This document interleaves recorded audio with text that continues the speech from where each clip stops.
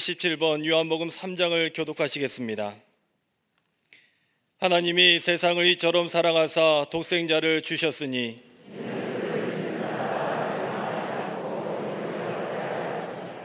하나님이 그 아들을 세상에 보내신 것은 그로 말미암아 세상이 구원을 받게 하려 하심이라. 믿지 아니하는 자는 하나님의 독생자 이름을 믿지 아니하므로 그 정죄는 이것이니 곧 빛이 세상에 왔으되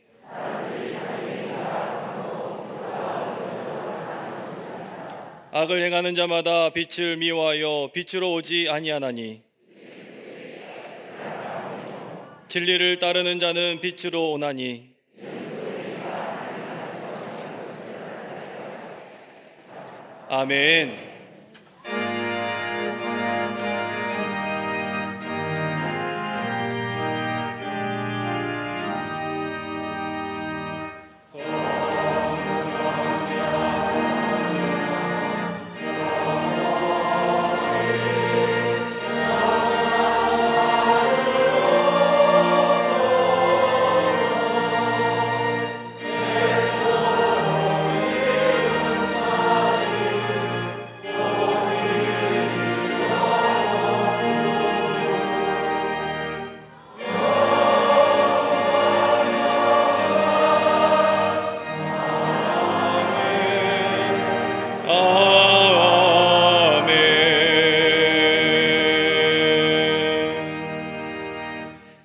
전능하사 천지를 만드신 하나님 아버지를 내가 믿사오며 그 외아들 우리 주 예수 그리스도를 믿사오니 이는 성녀로 잉태하사 동정녀 마리아에게 나시고 본디오 빌라드에게 고난을 받으사 십자가에 못 박혀 죽으시고 장사한 지 사흘 만에 죽은 자 가운데에서 다시 살아나시며 하늘에 오르사 전능하신 하나님 우편에 앉아 계시다가 저리로서 산자와 죽은 자를 심판하러 오시리라 성령을 믿사오며 거룩한 공예와 성도가 서로 교통하는 것과 죄를 사하여 주시는 것과 몸이 다시 사는 것과 영원히 사는 것을 믿사옵나이다 아멘.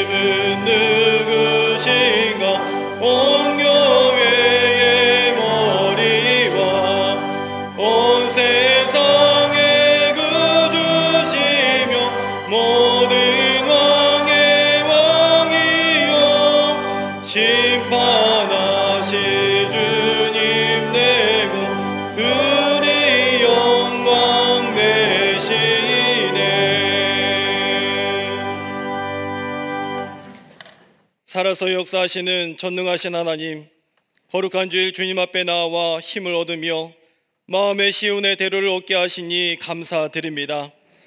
특별히 말씀이 육신이 되어 우리 가운데 오신 대강절에 성서주의를 지키게 하심에 감사합니다. 우리 자녀들에게 생명의 말씀이 들려지며 거룩한 믿음의 유산을 이어가게 하여 주시옵소서. 그러나 우리의 예배가 온전하지 못했으며 하나님 없이 살아갔던 인생임을 회개합니다. 마음을 다하지도 못했으며 시간을 구별하지 못했고 최선을 다하지도 못했음을 이 시간 용서하여 주시옵소서. 오직 예수 그리스도의 보혈의 힘을 의지하여 주홍빛보다 더 붉은 우리의 죄가 흰 눈보다 더이며 양털보다 더이게 하여 주시옵소서. 이 시간 성령 하나님 충만하게 임자하여 주시옵소서. 복음의 역사로 대한민국의 근현대사를 바꾸신 하나님 이 땅이 예수 믿어 축복받는 나라 되게 하시니 감사합니다. 하나님 없이 잘 사는 나라가 아니라 하나님 은혜로 여기까지 올 수 있었다는 고백을 온 국민들이 하게 하여 주시옵소서. 대통령과 위정자들 위해 기도할 때에 지혜를 주시고 명철함을 더하여 주시옵소서. 거짓과 속임수는 사라지며 정당의 이익보다 국민의 안전과 나라의 발전을 위해 일하게 하여 주시옵소서. 특별히 노사 간의 갈등, 여야의 갈등, 세대와 빈부 계층 간의 모든 갈등은 사라지게 하여 주시옵소서. 갈등의 문제를 일으키는 포괄적 차별금지법과 사학법의 문제를 두고 하나님 앞에 엎드리게 하여 주시고 바른 정신과 바른 가치관의 축복을 누리게 하여 주시옵소서. 또한 나라의 안보를 지켜주시며 저 이북을 위해 기도할 때에 악한 정권은 무너지며 지하교회와 교인들을 지켜주시고 복음 안에서 하나 될 수 있도록 인도하여 주시옵소서.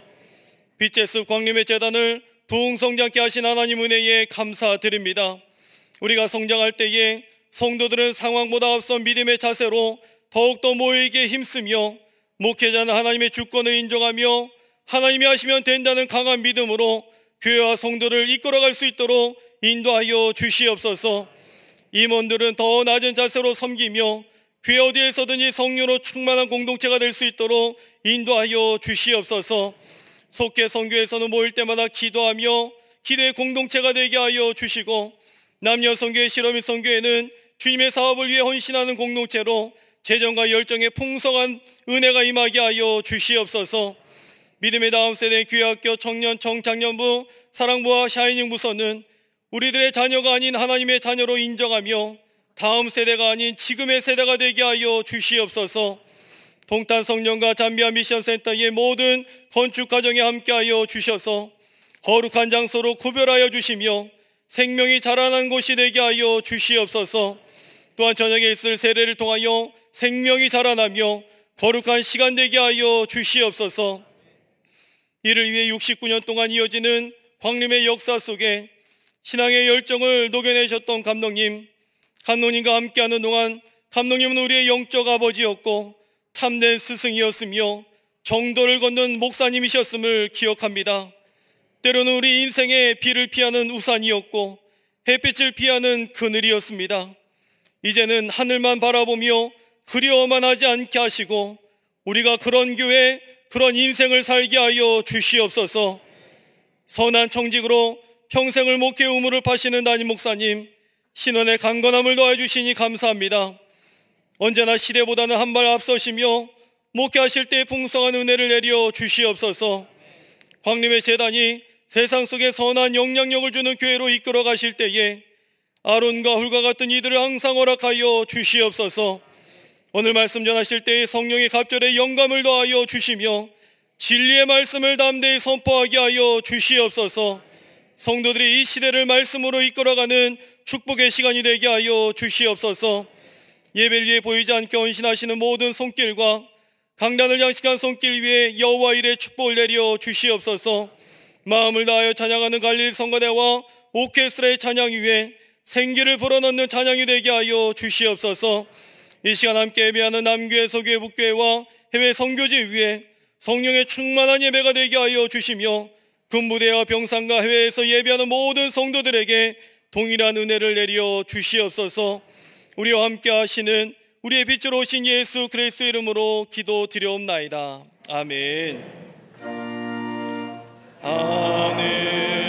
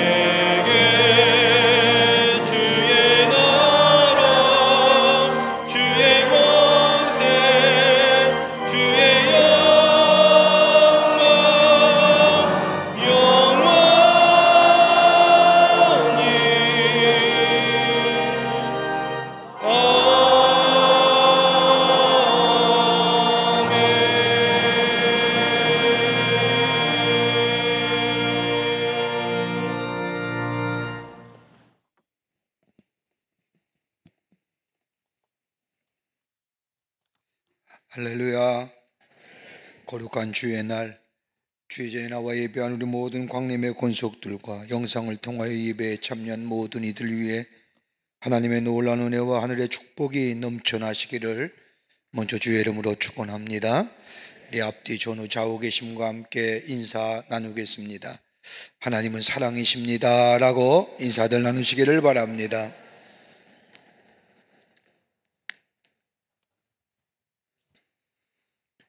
(2022년도) 제3차 세례 입교식이 오늘 저녁 예배 시에 있겠습니다. 세례 문답은 오후 5시 나사렛 성전에서 있겠고 세례 대상자는 일정을 확인하셔서 꼭 세례 예식에 참여하시기를 바랍니다. 저희 교회에서는 1년에 세 번의 세례 입교식이 있는데 여러분 내가 예수 믿어 믿음으로 예수를 고백하는 것 이게 구원받는 역사지요 근데 세례받는 것은 내가 그리스도인이라고 하는 증표입니다. 그러니까 세례 꼭 받으셔야 됩니다. 간혹 가다 보면 오래 믿음의 생활하는데 세례 받지 않은 분들 간혹 가다 있습니다. 그때마다 당혹스럽습니다. 세례 꼭 받으시는 이번 기회가 되시기를 바랍니다. 어, 신천 임원 시험 면접이 있겠습니다. 신천 임원 시험이 오는 12월 13일 화요일 날 오후 6시 30분 나사렛 성전에서 있겠고 면접은 12월 15일 목요일 오후 7시 반과 16일 금요일 오전 10시에 살베델 성전에서 있겠습니다. 올해도 많은 분들이 새롭게 집사님과 권사님으로 어, 천거가 되셔서 꼭 시험을 보셔야 됩니다. 면접을 꼭 통과하셔야 됩니다. 잊지 마시기를 바랍니다. 새가족 송년회가 오늘 오후 3부 예배 후에 사회봉사관 사천 컨벤션홀에서 있겠습니다. 지난 한 해 동안 우리 교회에 오셔서 등록하시고 교인 되신 분들 어, 여러분 꼭 오셔서 우리 광림의 한 가족임을 나누며 또 예수의 기쁨을 나누는 귀한 시간 되시기를 바랍니다. 2022년도 트리니티 성서 대학원 및 주일학 교육 프로그램 수료식이 오는 수요일에 저녁 예배실에 있겠습니다.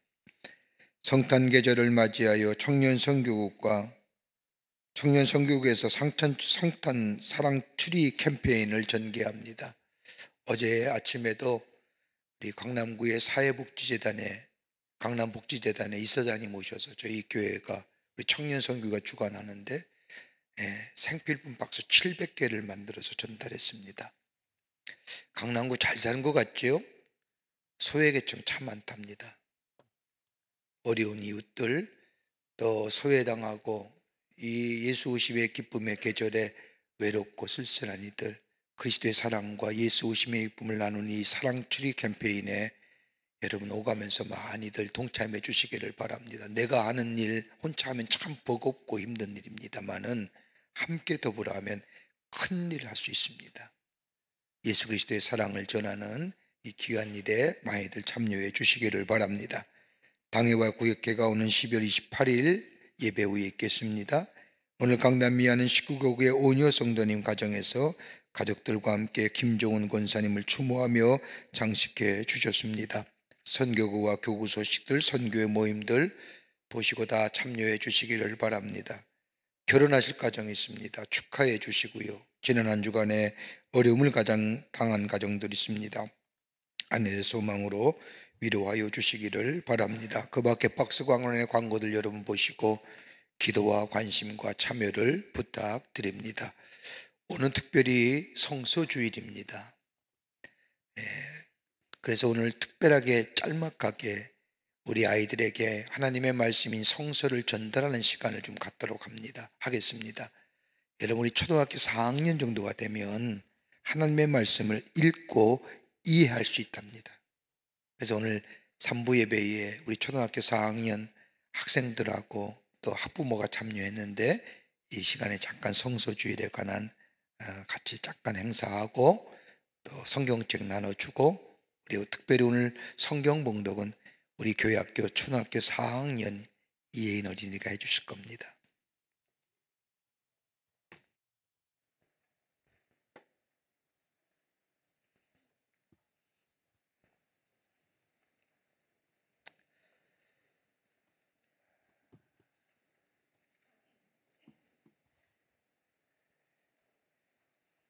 우리 아이들이 세례를 받는 그날부터 부모이자 세례에 증인된 우리는 우리 아이들이 예배에 참여하며 하나님의 말씀을 배우고 믿음 가운데 자라도록 할 것을 하나님 앞에 약속했습니다. 이를 통해 우리 아이들이 주님이 다시 오실 그날까지 그들의 삶을 경건하게 지켜나가며 온전한 주님의 자녀들이 될 것입니다. 그리고 오늘은 하나님의 진리인 성경을 아이들에게 전하여 줌으로써 다시 한번 그 약속을 상기시키고자 합니다. 성경 말씀 한 곳 보겠습니다. 하나님 말씀은 디모데후서 3장 16절서부터 17절까지의 말씀입니다. 모든 성경은 하나님의 감동으로 된 것으로 교훈과 책망과 바르게 함과 의로 교육하기에 유익하니 이는 하나님의 사람으로 온전하게 하며 모든 선한 일을 행할 능력을 갖추게 하여 함이라. 하나님의 말씀은 하나님의 감동으로 된 겁니다. 거기엔 교훈과 책망과 바르게 함과 의로 교육하기에 유익합니다. 그리고 하나님의 사람으로 온전하게 되며 선한 일을 행할 능력을 갖추게 하는 말씀입니다. 이 하나님의 말씀을 오늘 우리 사랑하는 자녀들에게 전달하도록 하겠습니다. 앞으로 나오실까요?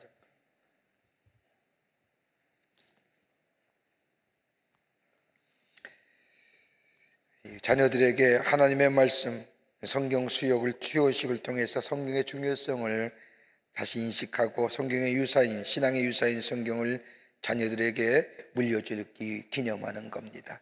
우리 교회학교 대표 부모님과 함께 우리 자녀가 나왔는데 이제 결단의 시간을 갖겠습니다. 해당하는 자녀들은 부모님과 자녀들 모두 일어서 주길 바랍니다. 부모님과 자녀들은 준비하신 성경에 손을 얹고 순서지에 따라서 결단의 내용을 우리 앞에 계신 대표 계신 부모님과 함께 해주시기를 바랍니다.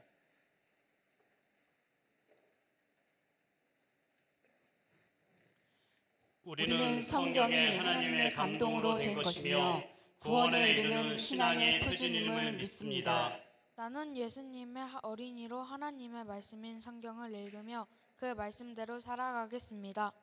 부모된 우리는 삶의 주침인 성경대로 살아가므로 자녀에게 본이 되겠습니다. 사랑하는 부모님이 가르쳐 주시고 삶으로 보여주신 하나님의 말씀을 항상 기억하겠습니다. 자녀들에게 말씀을 바르게 가르쳐 하나님의 온전한 사람으로 양육하겠습니다. 오늘 부모님이 주시는 성경을 늘 간직하며 하나님의 말씀을 떠나지 않겠습니다. 이제 우리 대표 학생에게 성경책을 전하도록 하겠습니다.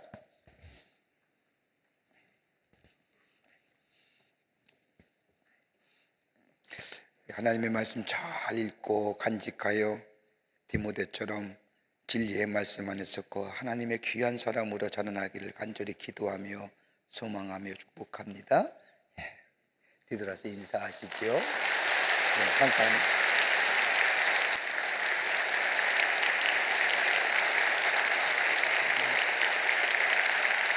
이제 기도하겠습니다. 우리 축복 기도할 터인데 우리 부모님들은 저 대신에 여러분의 자녀 유메리에 손을 얹고 기도하겠습니다. 살아서 역사하시는 전능하신 하나님, 하나님께서 우리 가정에 귀한 자녀 주셔서 우리 가정에 기쁨이 되고 또 하나님 앞에 영광을 돌리는 가정으로 세워주심에 감사합니다. 오늘 우리 자녀들에게 하나님의 말씀을 전하여 주었습니다. 내가 듣고 나를 새롭게 하시는 그 하나님의 말씀, 나의 생명이 되시고, 나의 길이 되시고, 인도해 주시고, 나의 삶을 풍요롭게 하여 주신 그 하나님의 말씀은 우리 사랑하는 자녀들에게 그대로 전하길 원합니다.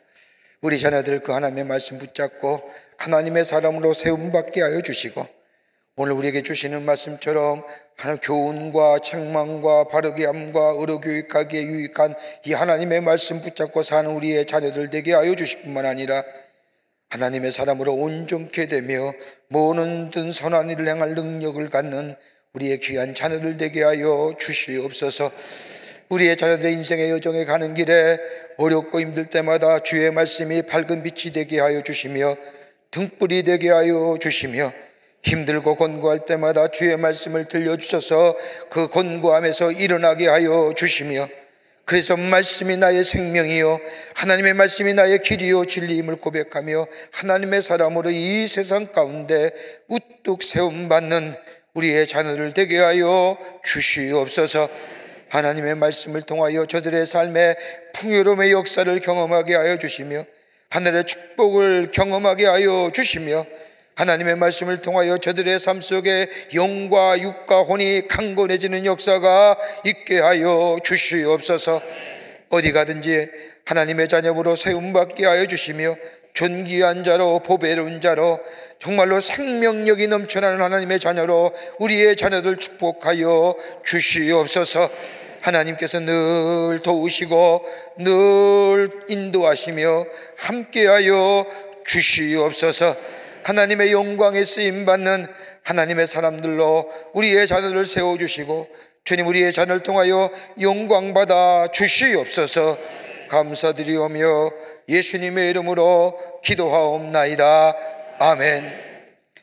이제 오늘 사랑하는 우리 귀한 자녀들 아까도 말씀드린 초등학교 4학년 되면 성경 말씀을 읽고 이해할 수 있다고 합니다. 우리 귀한 자녀들에게 선물 드리도록 하겠습니다.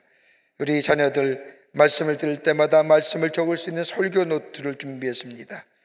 하나님의 말씀을 듣고 기록하고 묵상하며 살아가는 믿음의 자녀들이 되기를 바랍니다. 아까 우리 자녀들에게 줬지요? 예.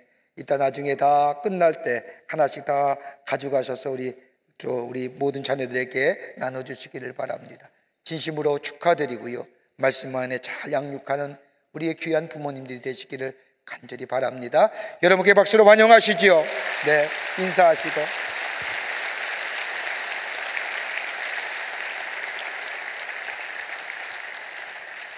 오늘 성경 말씀은 우리 초등 2부의 초등학교 4학년입니다. 정혜나 학생이 해주시겠습니다.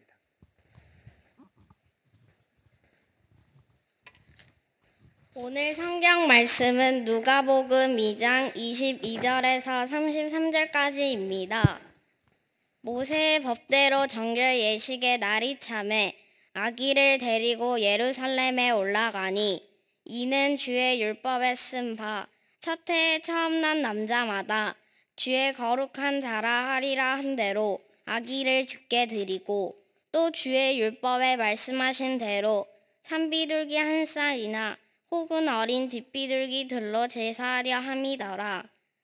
예루살렘에 시므온이라 하는 사람이 있으니 이 사람은 의롭고 경건하여 이스라엘의 위로를 기다리는 자라 성령이 그 위에 계시더라. 그가 주의 그리스도를 보기 전에는 죽지 아니하리라 하는 성령의 지시를 받았더니 성령의 감동으로 성전에 들어가매 마침 부모가 율법의 관례대로 행하고자 하여 그 아기 예수를 데리고 오는지라 시므온이 아기를 안고 하나님을 찬송하여 이르되 주제여 이제는 말씀하신 대로 종을 평안히 놓아 주시는 도다. 내 눈이 주의 구원을 보았사오니 이는 만민 앞에 예비하신 것이요. 이방을 비추는 빛이요.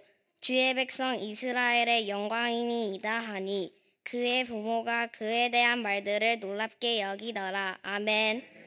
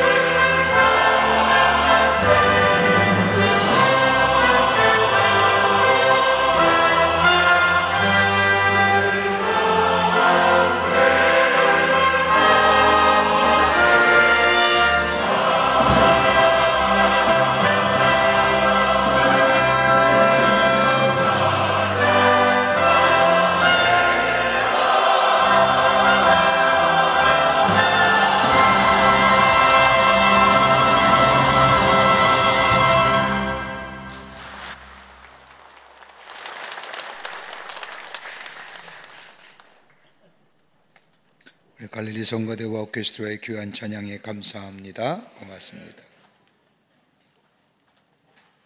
우리가 잘 아는 연극 가운데 가장 많이 무대에 올려진 연극이 있다고 하면 사무엘 베케트의 작품인 고도를 기다리려면라는 연극일 겁니다. 이 작품은 사무엘 바케트가 제2차 세계대전 중에 시대적으로 삶의 희망은 사라지고 기대할 것이 없는 허무함의 연속 그리고 끝이 없는 전쟁 가운데 죽음과 기아 그리고 가난이 팽배했던 시대 속에 무엇인가 조금이나마 사람들에게 희망을 주기 위하여 쓰여진 작품이 고도를 기다리려 가는 연극 작품입니다. 이 연극은 역극 작품이 올릴 때 무대 장치가 참으로 인상적입니다. 아무도 지나갈 것 같지 않은 해가 기웃기웃져가는 석양에 한 나무 한 그루가 서 있는데 이 나무는 꽃도 잎도 열매도 없는 그냥 앙상한 나무 한 그루가 서 있는 것으로 연극이 시작됩니다. 그 나무 곁에서 블라디미르와 에스트라공이라는 두 사람이 고도를 기다리는 게 됩니다. 고도가 어떤 존재인지는 모르지만 두 사람의 대화 속에 이 세상의 구원은 고도가 와야 구원된다고 이야기하면서 끊임없이 고도에 관하여 이야기하며 고도를 기다립니다. 그러면서 1막이 끝납니다. 2막이 시작이 되면서 등장인물이 바뀌었는데 이 사람들 또한 나누는 대화가 하나같이 공허한 쓸데없는 이야기만 나눕니다. 그러면서 결론은 고도는 오지 않는다고 말하면서 그러나 내일은 올 것이라고 말하며 연극이 끝을 맺습니다. 뭘 말하고자 하는 걸까요? 우리는 인생을 어떻게 보면 끊임없이 기다리며 살아가는 인생이라 할 것입니다. 내 인생 속에 무엇인가 새로운 것이 오겠지 하며 기다립니다. 이런 기다림 속에 우리는 살고 있지만 그 기다림에 걸맞는 말이나 행동은 우리의 기다림에게는 그리 큰 도움이 되지 못하는 것을 보게 됩니다. 그럼에도 불구하고 우리는 오늘도 무엇인가를 기대하며 기다리며 살아갑니다. 오늘 우리가 함께 읽은 본문의 말씀은 이 땅을 구원하시기 위해서 오시는 메시아의 탄생 속에 나이 많은 두 노인들을 등장하며 오늘의 말씀이 시작이 됩니다.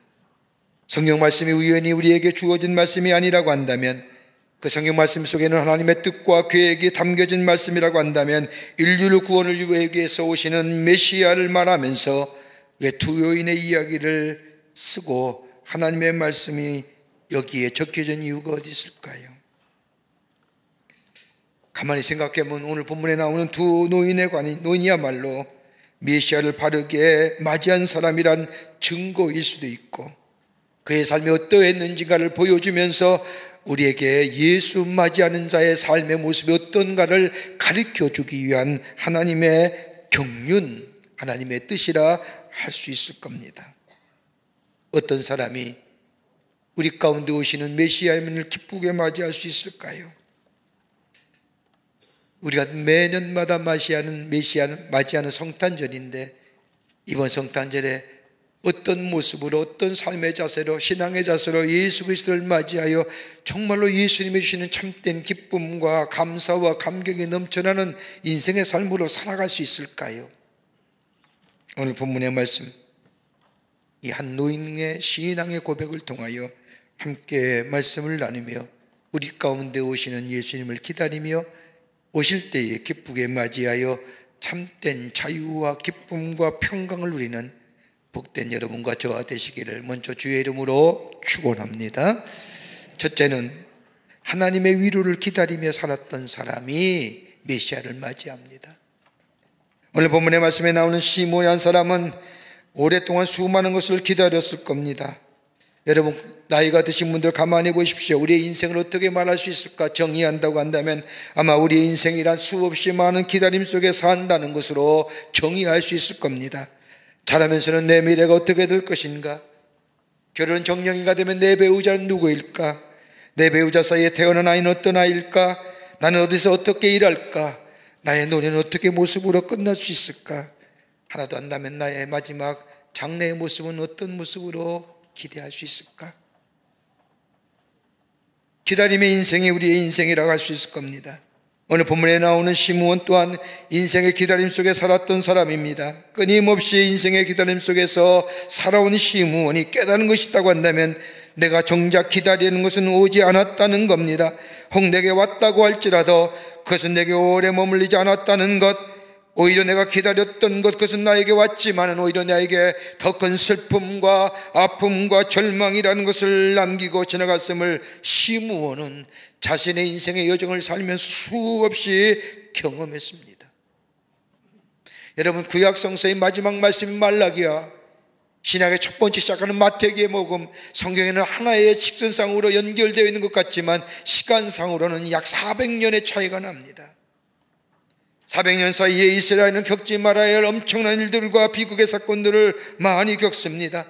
마카비의 반란이나 하나님의 성전에 모욕당한 엄청난 수치와 시간을 보내기도 합니다. 그보다 더 참담한 것은 저 갈릴리 지역에 로마에 대항하여 반란이 일어났는데 그 반란에 주동했던 사람들 자신의 동료여 자신의 친척이여 자신의 친구들을 다 잡아가지고 못 박아 죽는 엄청난 일을 당합니다.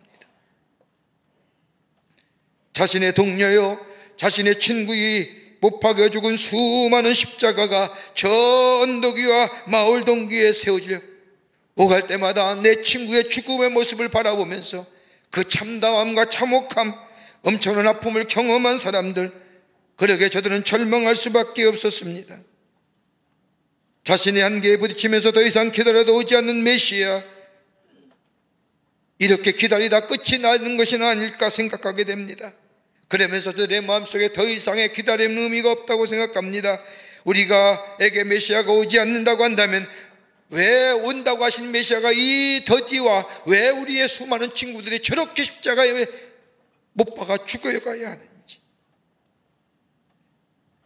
수많은 세월 동안 겪었던 아픔들 처절하고 그리고 연약해 주저앉고 모욕당하며 무신앙했던 저들의 삶의 모습에 메시아가 온다는 기대감 사라지고 오려 절망과 그리고 좌절의 깊은 나락에 떨어져 허우적거리는 이스라엘 백성 가운데 이 시므온은 그 메시아의 기다림을 포기하지 않았다.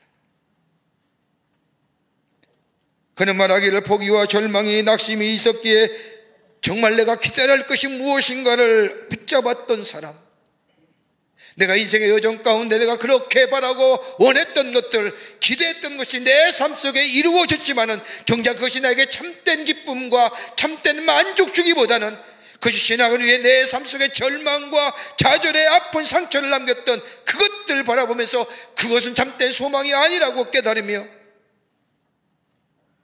내가 정말로 기다려야 할 것이 무엇인가를 알았던 이 신문 그래서 분명히 붙잡았던 사람이 바로 신문입니다.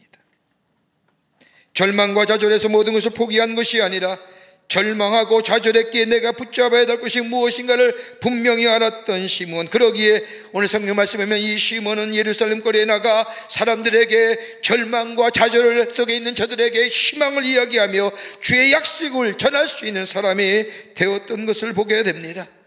그러게 누가 뭐 2장 25절의 말씀을 보면 예루살렘의 시무원에 예루살렘의 시무원한 사람이 있으니 이 사람은 의롭고 경건하며 이스라엘의 위로를 기다리는 자라. 여기서 기다린다고 하는 말은 프로스테 코메노스라고 하는 말인데 그냥 기다리는 것이 아닙니다. 막연하게 기다리는 것도 아닙니다. 내가 원하는 일 반드시 내 삶 가운데 일어날 것을 기대하고 사모하며 주의하여 자세히 살핀다는 의미로서의 기다림. 이 안에는 이 세상에 진짜로 기다릴 것이 없다. 그러나 내가 진정 기다릴 것이 있다고 한다면 하나님의 약속하신 메시아만이 내가 기다릴 수 있는 유일한 분이요. 그분이 내 삶 가운데 오게 될 때에 나의 삶의 문제가 해결될 수 있다고 하는 그 믿음 안에서 그 확신을 가지고 기다린다는 겁니다. 여러분, 인간의 현실을 바라보면서 더 이상 희망이 없다고 느낄 때에 느끼는 감정은 스스로 포기합니다. 윌리엄 메이어라고 하는 박사가 6.25 사변 후에 북한군에 포로되었던 1천 명의 미군 상대로 상담하였다고 합니다. 그가 상담한 경험을 기록한 노트를 보면 이런 이야기가 적혀져 있답니다. 강철이나 콘크리트 벽은 없지만 정신적인 독방에 갇혀 완전히 고립된 상태들이었다. 포로들 사이에 극단적인 절망이 자포자기 병에 걸리게 만들었고 이 병에 걸린 포로들은 담요를 뒤집어 쓰고 저 막사 구석에 홀로 쪼그려 앉아 있다가 이틀도 못 되어 죽어갔더라. 그래서 이 윌리엄 메이어 박사는 이 병의 이름을 marasmus 병이라 자포자기의 병이라 부릅니다. 여러분 스스로 포기하는 자포자기는 저항의식과 인내심을 잃게 만듭니다. 이 자포자기 이 marasmus 병으로 죽어간 미군 병사는 당시에 포로 가운데 38%가 이 병으로 죽어갔다고 합니다. 왜요? 여러분 인간은 적어도 삶의 의욕이 있으려면 적어도 세 가지의 것들이 충족이 돼야 됩니다. 하나는 신뢰가 있어야 되고 또 하나는 존중받는 마음이 있어야 되고 세 번째는 용기가 있어야 되는데 미군의 일 포로 잡은 이 북한군은 미군 사이에 저들의 희망과 꿈을 가지고 일어설 수 있는 이 신뢰하는 마음, 존중이 여기는 마음, 용기 있는 가질 수 있는 것들을 저들의 삶 속에서 하나씩 하나씩 빼어갔다는 겁니다.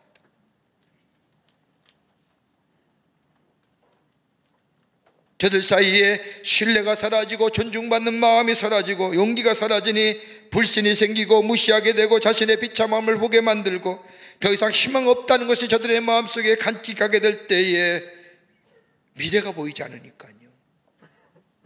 죽어가는 겁니다. 그때만의 일일까요? 오늘 우리가 사는 이 시대는 어떤 시대일까요? 희망이 있습니까?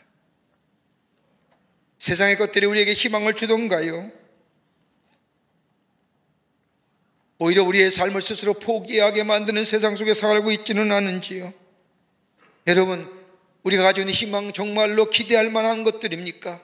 우리에게 참된 위로와 평강과 참된 기쁨을 줄 만한 것들입니까?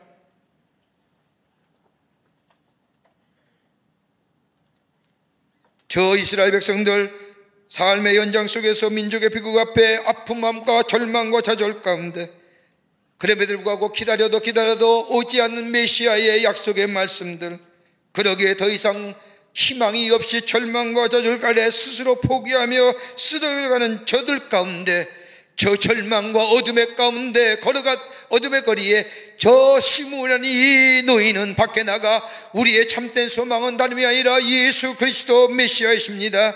메시아가 오실 때에 우리에게 미래가 열려집니다. 참된 소망이 있습니다라고 외쳤던 자가 바로 시몬입니다. 여러분 기다림을 좋아하는 사람은 아무도 없습니다. 여러분 기다림 속에 우리에게 점점 확신 있게 다가오는 것이 다가온다면 내가 정말 붙잡고 있는 소망이 진짜인지 거짓인지 여러분 이 소망 가운데 진정한 소망을 붙들게 되면 나로 하여금 인내하게 만듭니다. 시련과 소망, 고난이 많으면 많을수록 이 소망을 붙들기 위해 그 속에 숨어 있는 내면의 아름다운 모습들을 지니게 자라나게 되고 거추장스러운 것들은 떨어져 나가게 되며 내 안에 잠재되어 있던 아름다운 모습이 드러나면서 나를 나답게 만들며 내 삶의 에너지가 풍성해지며 그로 인하여 성숙한 인격이 만들어집니다. 여러분이 지고 있는 소망이 참된 소망입니다. 잡초 가운데 매길이란 잡초가 있습니다. 이 잡초는 1m밖에 자라지 못하는 풀떼기입니다.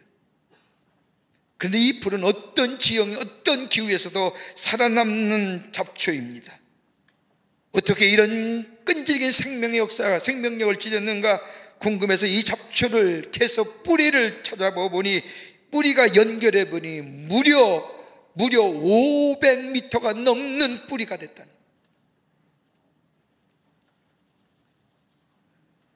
1m밖에 안 되는 잡초가 뿌리가 500m가 넘어. 땅에 가물면 가물수록 포기하지 않고 물을 찾아 뿌리를 내려 생존하는 잡초이기에 살아남은 것.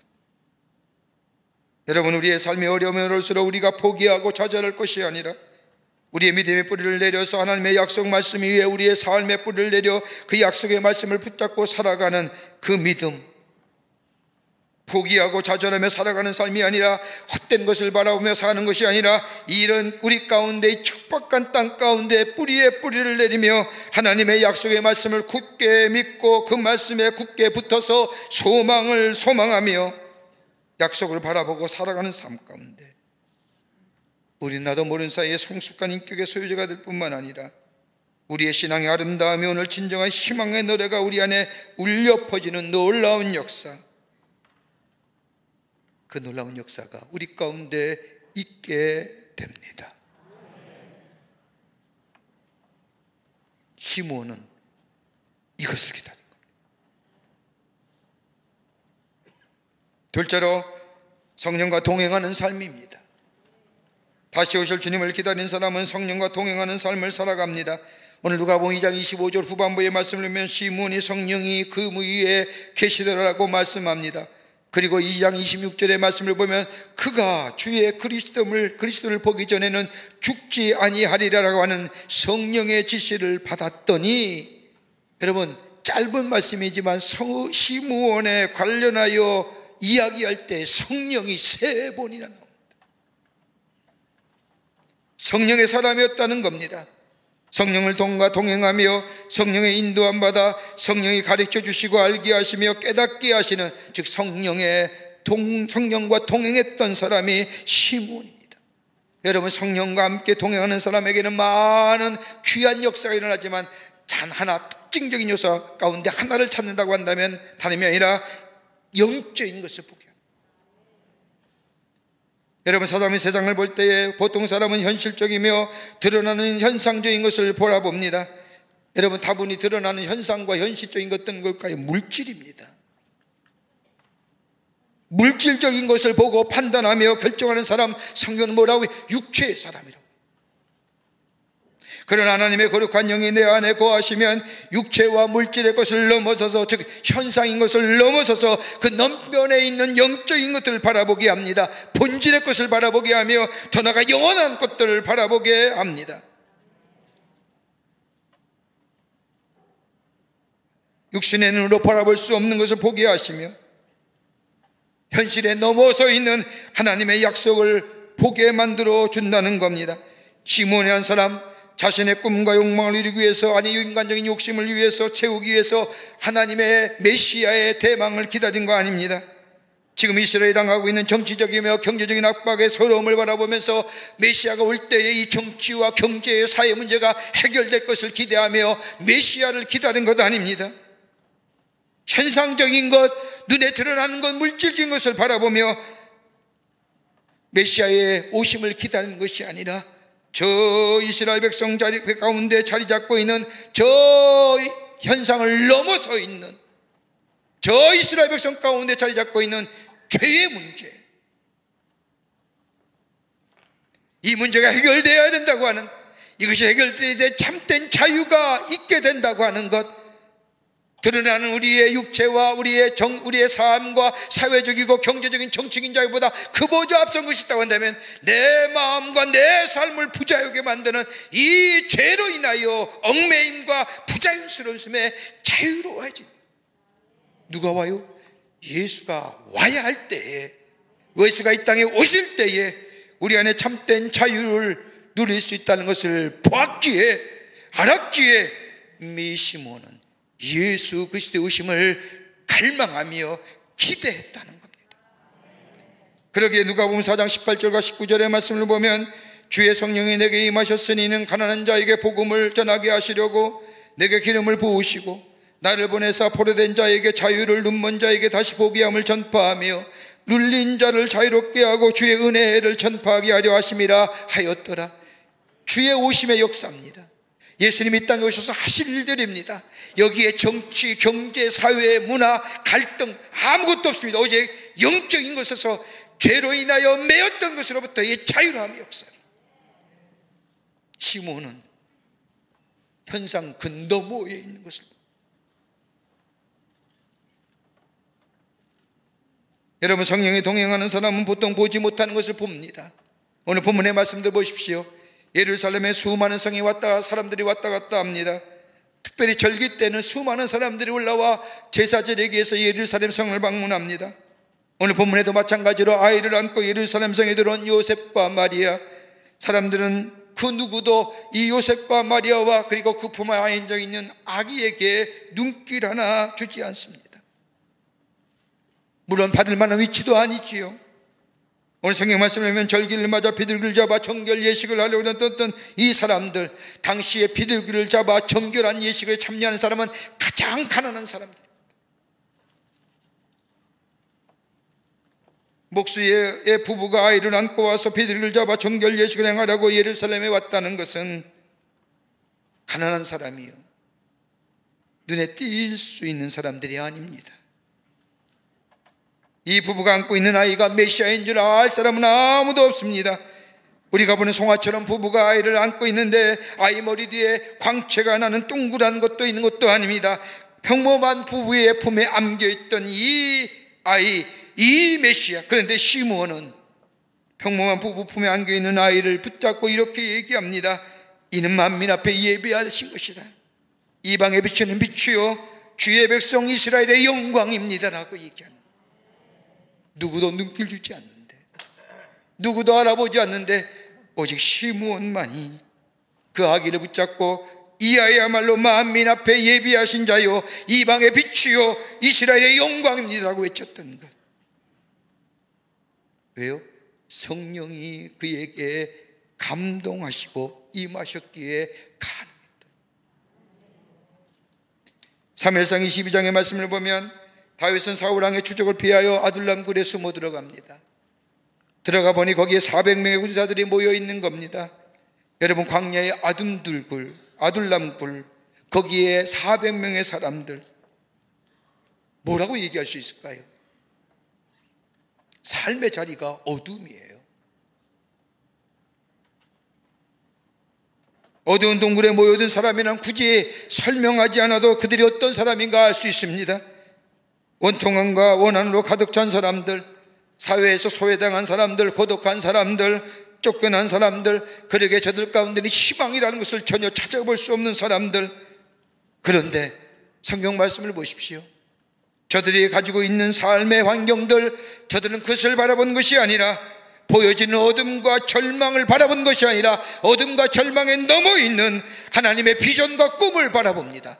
그러게 시편 57편 7절 말씀에 저들의 고백하는 찬송의 소리를 들어보십시오. 하나님이요.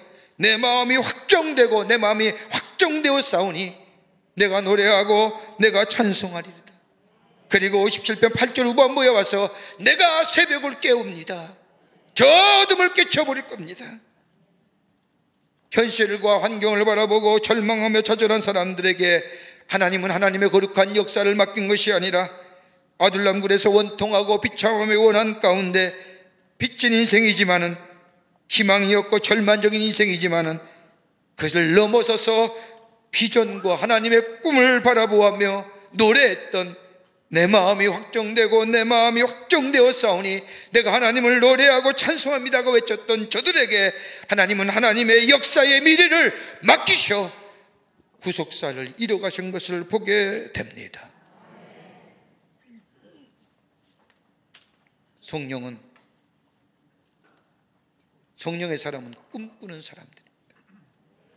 하나님의 영이 내 안에 계시면 꿈꿉니다. 그러게 사도행전 2장 17절의 말씀을 보면 하나님이 가라서 내 말세에 내가 내 영으로 모든 육체를 부어주리니 너희 자녀들은 예언할 것이요 너희 젊은이들은 환상을 볼 것이요 너희 들그리들은 꿈을 꾸리라 성령의 안에 거하는 사람, 하나님의 거룩한 영에 인도함 받는 사람은 모든 자에게 꿈꾸게 하시고 비전 갖게 하시고 현상을 보며 절망하며 좌절하는 것이 아니라 현상 너머에 있는 하나님의 비전, 하나님의 꿈을 꿈을 인하여 저들을 통하여 하나님의 거룩한 역사를 이루어가게 하심을 보게 됩니다. 그러게 시모 누구도 보지 못했지만 그 아이를 붙잡고 이 아이의 말로 열망의 빛이요 주의 구원이여 노래할 수 있는 성령 안에 거할 때에 메시아의 기쁨, 메시아의 만남의 역사, 그로 인하여 참된 자유와 빛의 역사, 축복의 역사를 경험하게 되는 줄 믿습니다. 끝으로 거룩함과 의로움으로 준비해야 됩니다. 예수 메시아를 기다리는 마음이 있다면 이에 따르는 행동이 있어야 됩니다. 오늘 본문 2장 25절의 말씀을 보면 예루살렘의 시므온이라는 사람이 있으니 이 사람은 의롭고 경건하여 이스라엘의 위로를 기도하 기다리는 자라 성령이 그 위에 계시더라고 얘기합니다. 여기에 뭐라고요? 시므온을 정의할 때 딱 두 단어 의롭고 경건한 사람. 여러분 기다린다는 것은 거기에 걸맞는 준비와 더불어 행동이 있어야 됩니다. 시몬은 주의 오심을 기다리며 그냥 그렇게 산 것이 아니라 의롭게 경건한 삶으로 살아 준비했다는 겁니다. 여러분 내일을 기다리는 자에 마땅한 준비가 있어야 됩니다. 좋은 날을 기다리면서 준비한 나은 것은 아무것도 없고 그의 날을 다 그의 날을 맞이한다는 것은 어리석은 일입니다. 예수님의 비유 가운데 열천의 비유가 있지 않습니까? 신랑을 기다리는데 열 명의 처녀 가운데 신랑을 기다린다면 신랑을 맞이할 준비가 있어야 하는데 준비한 처녀는 지혜로운 처녀요. 준비하지 못한 자는 어리석은 처녀라고 얘기하신 것처럼 메시아의 오심을 기다린다고 한다면 기다림에 합당한 행동을 해야 되는데 시무원은 다른 곳으로 기다림을 준비한 것이 아니라 의로움과 더불어 거룩함으로 준비했다. 여러분 의로움이 어떠서 나올까요? 여러분 의롭고 경건한 삶이 어떤 삶입니까? 다름이 아니라 하나님과의 관계를 우선순위로 삼고 사는 사람에게 의로움과 더불어 경건함이 있어집니다. 여러분 가만 보십시오. 내 삶에 영향을 주고 내 삶에 복되게 하는 것 같다고 생각하는 그 존재를 향하여 우리의 삶은 여러분 우선순위 부여하지 않습니까? 여기 오신 분이야 다 예수 믿는 사람이기 때문에 우리의 삶의 우선순위는 하나님이라고 생각할지 모르지만 예수 믿지 않는 사람은 내 삶을 살게 하고 내 삶을 존재케 하는 것이 뭐예요? 물질이에요. 그 물질이 내 삶의 우선순위가 되는 거예요. 물질 따라가잖아.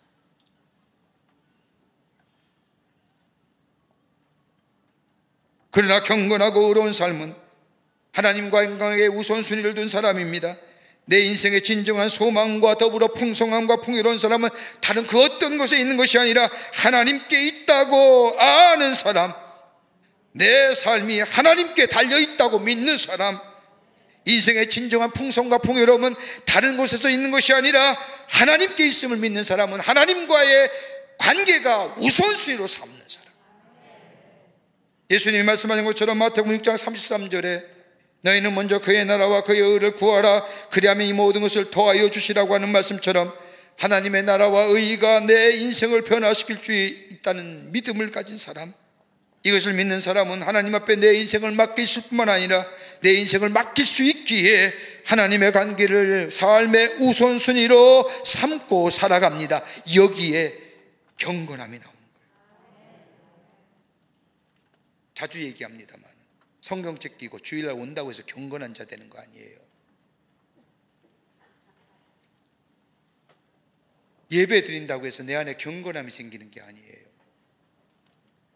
자리를 자리한다고 해서 되는 게 아니라 내 삶의 자리에서 하나님이 내 삶의 주인 되시고 하나님이 나의 모든 것의 주인 되시고 땅의 것이 나에게 삶을 복되게 하고 행복한 것이 아니 행복하게 하는 것이 아니라 하나님이 나의 삶을 복되게 하고 행복하게 하심 그것을 믿는 사람 그러기에 내 삶의 우선순위는 저 땅의 것이 아니라 하나님과의 관계가 우선순위라고 생각하는 사람에게 경건함이 생깁니다. 여러분 시편의 말씀을 읽을 때마다 우리에게 큰 은혜가 되죠. 왜 우리가 은혜가 될까요? 시편의 고백은 그냥 하나님께 드리는 고백이 아니라 자신의 삶 가운데 경험되었던 일들, 그 경험되어진 일들을 찬양의 곡에 맞춰서 쓰여지고 드려진 시기에 우리 마음속에 와닿는 겁니다. 여러분 다윗 보세요.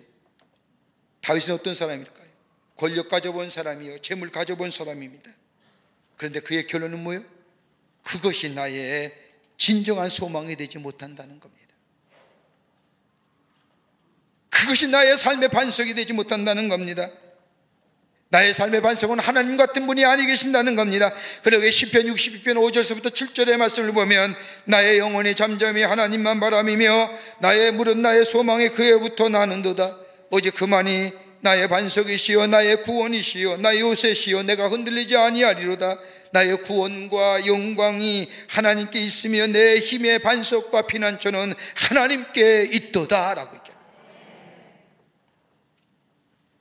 나의 소망은 재물도 아니라는 겁니다.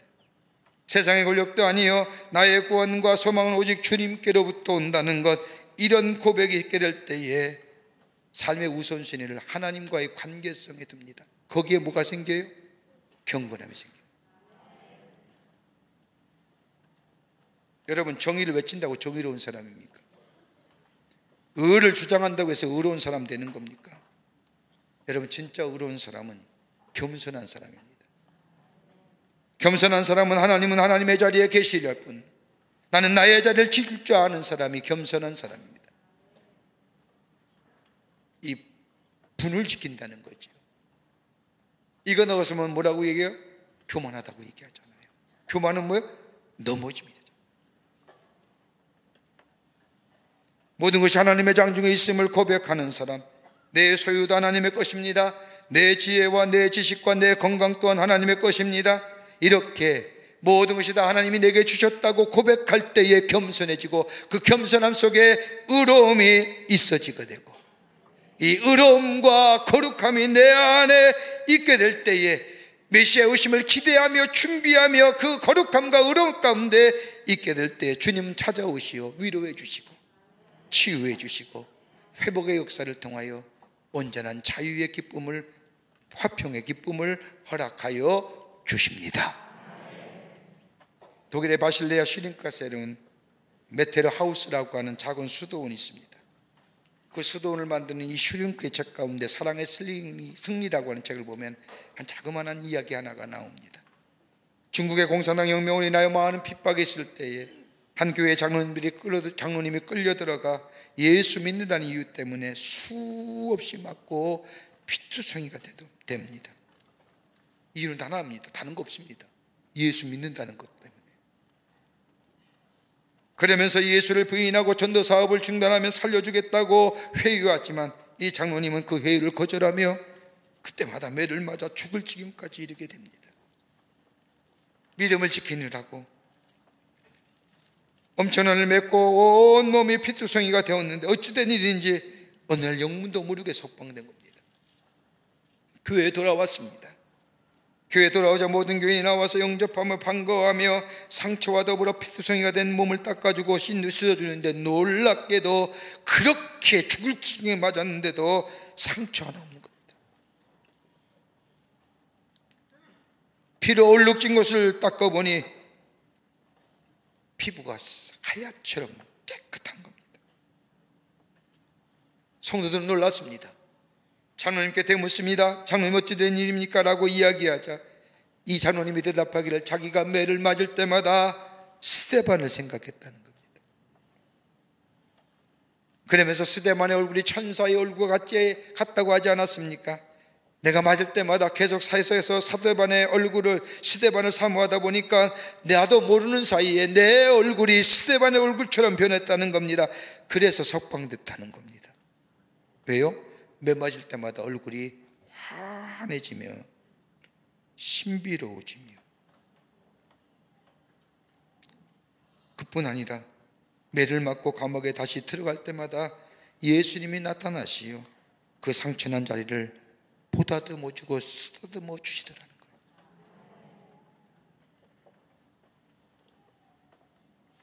위로받을 게 어떤 걸까요? 주의 위로밖에 우리의 삶의 공고함과 힘듦과 피곤함과 때는 아픔과 때는 절망과 좌절에 아무리 바라봐도 소망이 없고 위로할 자 없는데 예수님이 우리 가운데 오시면 그 예수님 모시는 자마다 위로가 있고 기쁨이 있고 회복의 역사가 있고 치유의 역사가 있고 어떤 자에게 임하시 믿음 안에 주의 약속의 성취는 믿게 됩니다. 주의 약속은 이루어집니다. 더 나아가 성령 안에 거하는 자, 그리고 기다리는 자에답게 준비하며 뭐래요? 거룩함과 의로움으로 준비하는 자에게 주님 오시어 절망이 변하여 소망되게 하시고 실망이 변하여 용기되게 하시고 어둠이 변하여 빛되게 하셔서 우리의 삶을 복된 인생으로 하나님의 사람으로 세워 주의 영광 위에 쓰임받는 하나님의 사람으로 삼아 주실 줄 믿습니다. 이 믿음의 고백이 주님을 기다리는 마음이 여러분과 저 가운데 있어지기를 주의 이름으로 축원합니다. 하나님 감사합니다. 주께서 이들 사랑해 주셔서 하나님의 백성 삼으심에 감사합니다. 매년 받아오는 성탄절인데 이번 성탄절은 주님 모시고 주여 주시는 위로와 평강이 그리고 참된 기쁨이 우리 안에 넘쳐나기를 원합니다. 믿음 안에 거하게 하시고 약속의 성취를 기다리게 하여 주시며 성령 안에 거하게 하시며 의로움과 경건함으로 주님의 오심을 기다리는 저희들 되게 하여 주셔서 주님 오심으로 우리 마음에 참된 평화, 위로, 기쁨, 감사, 감격이 넘쳐나는 이번 대강절을 지나 성탄절 되게 하여 주시옵소서 성령이 도우실 줄 믿으며 예수님의 이름으로 기도하옵나이다. 아멘.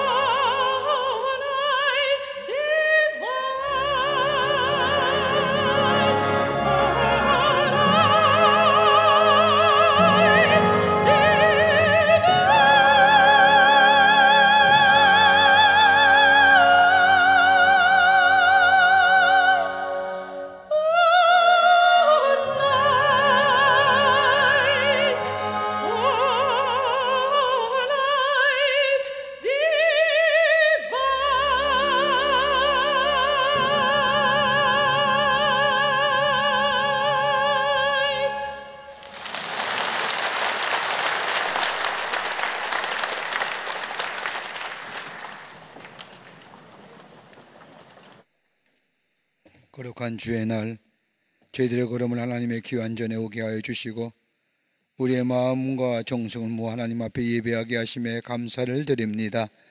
우리 예배를 기쁘게 받으시고 하늘 문을 여시사 하늘의 놀란 은혜와 하늘의 축복이 임하는 이 시간 되게 하여 주시옵소서 주 앞에 예배드리며 귀한 예물 성별하여 하나님 앞에 봉헌합니다. 저희들의 믿음과 정성을 주께 드리오니 받아주시고 하나님 나라의 교약에 쓰임 받게 하시며 이 예물 쓰일 때마다 예수 그리스도의 오심의 기쁜 소식이 구원의 감격이 널리 증거되어 이 땅에 하나님 나라가 널리 증거되며 확장되어 가는 데 쓰임 받게 하여 주시옵소서. 드린 손길 위에 축복하여 주시고 저들의 삶과 기업과 가정 위에 하나님께서 놀라운 은혜로 함께 해 주시사 저들의 삶 속에 하나님의 살아계심이 만천하에 증거되는 구별되고 성별된 삶으로 가정으로 일로 인도하여 주시옵소서. 아버지 하나님 이 나라 이 백성을 국리히 여겨 주시사 아버지 이 땅에 어둠의 것들이 다 물러가게 하여 주시옵소서. 이 나라의 백성들의 마음을 어둡게 하는 것들 다 사라져 빛의 역사가 이 땅에 있게 하여 주셔서 밝음과 아버지 광명을 통하여 새로운 미래를 향하여 나아가는 이 땅의 백성들과 이 나라 되게 하여 주시옵소서. 정치, 경제, 사회, 문화 모든 분야에 하나님의 주권이 세워지게 하시며 하나님의 공의와 정의가 세워지는 나라가 되게 하여 주시옵소서. 지금도 저 우크라이나 땅에 일어난 전쟁의 포성 소리 물러가게 하여 주시고 포성 대신에 샬롬의 소리가 널리 울려 퍼지는 날이 속히 임할 수 있도록 도와 주시옵소서. 테러와 분쟁으로 오늘룩진 지구촌의 곳곳의 모든 것들 하나님께서 아버지 하나님이 함께 해 주셔서 아버지 사라져가게 하시고 하나됨의 역사가 평강의 평화의 역사가 있게 하여 주시옵소서 저 북녘에 우리의 살아는 동포들 속히 구원하여 주시고 이 땅에 통일의 역사가 일어나되 복음으로 통일된 역사가 나타나게 도와 주시옵소서. 우리의 삶이 오시 예수 오심의 오심을 기다리며 오실 때에 기쁨을 맞이하여 참된 평화와 화목을 누리는 하나님의 백성의 삶으로 삼아 주시옵기를 원하오면서 예수님의 이름으로 기도하옵나이다. 아멘.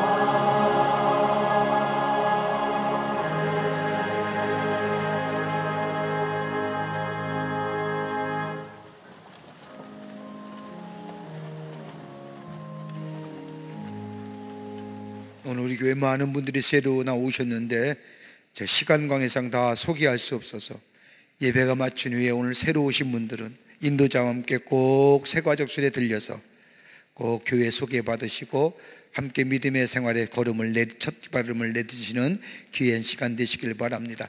오늘 전도하신 분들 또 새로 오신 분들 꼭 잊지 마시고 꼭 세가족술에 들리셔서 또 교회 소개 받으시고 안내 소개 안내 받으셔서 함께 믿음의 생활하기를 원합니다. 여러분 큰 박수로 환영하시지요.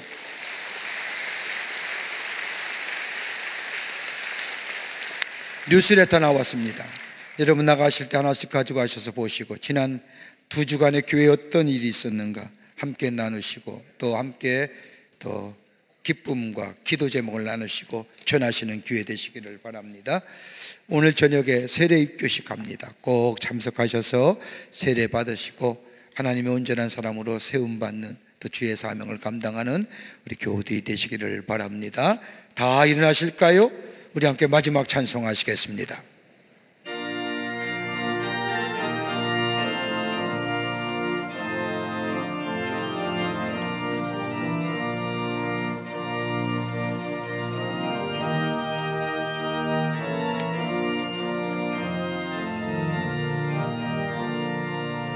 주의 곁에 있을 때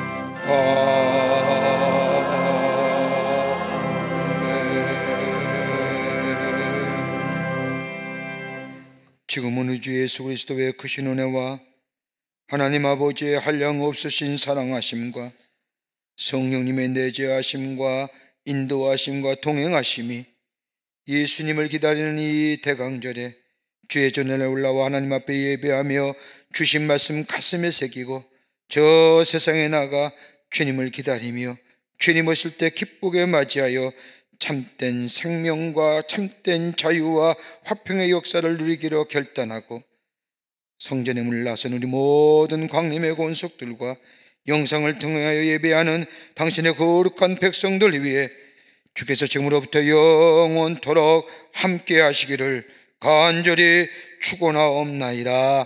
아멘. 조신 하나님 조신